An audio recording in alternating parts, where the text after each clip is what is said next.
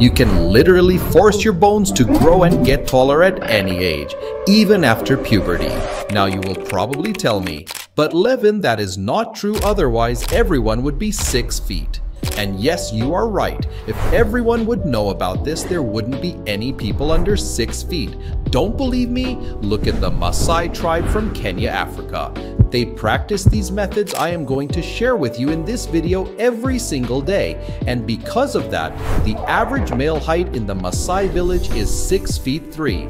They are able to grow to such heights using the scientific phenomenon called Wolff's Law, which was developed by the German anatomist and surgeon Julius Wolff in the 19th century.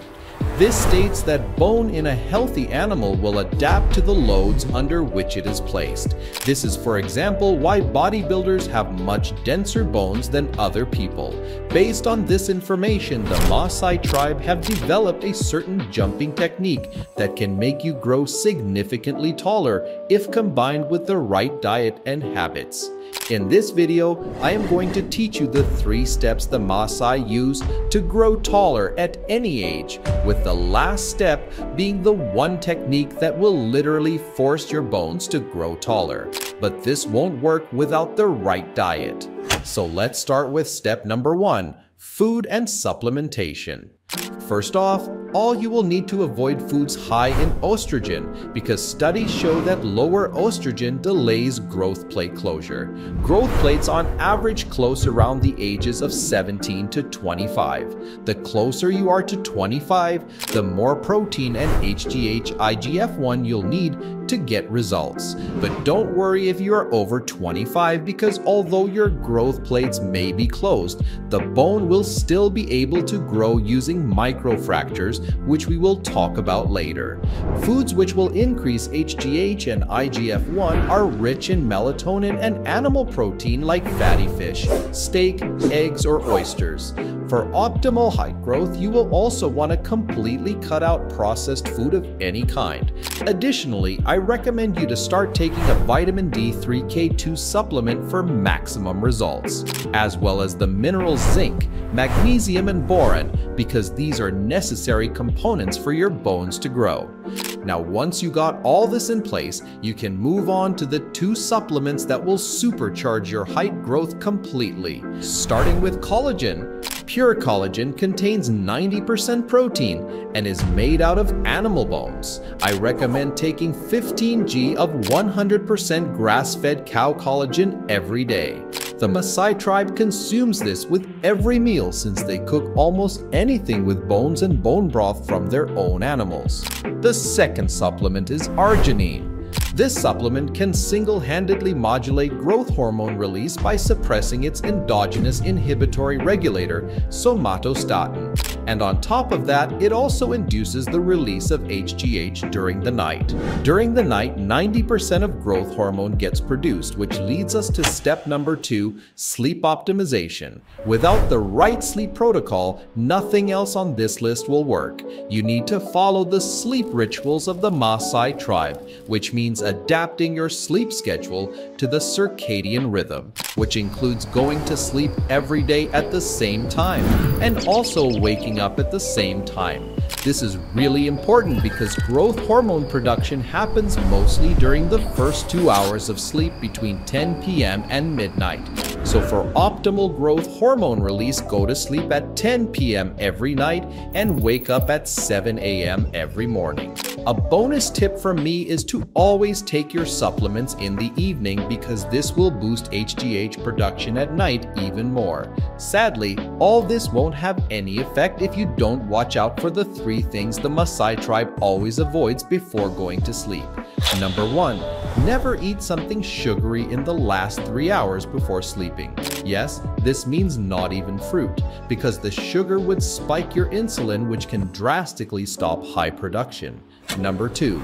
This one is a no-brainer for the Maasai tribe because they don't even have access to the internet, but it can be a big reason why you aren't growing right now, and that is to avoid blue light before sleep at all costs. Luckily, you can easily fix this by just wearing a pair of blue light blockers once it gets dark outside.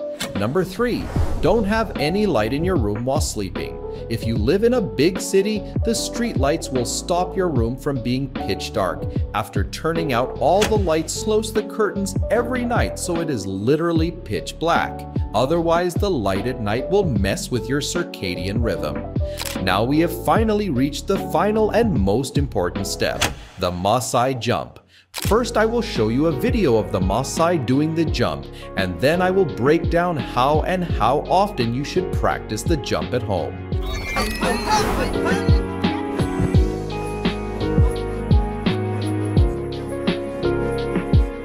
The most important thing, other than the right jumping technique, is to follow a daily routine of stretches designed to make your body willing to grow taller. If you want completely free access to the stretching routine and also early access to my new program, Ascend Academy, which will be launching on the 26th of July, click the first link in my bio.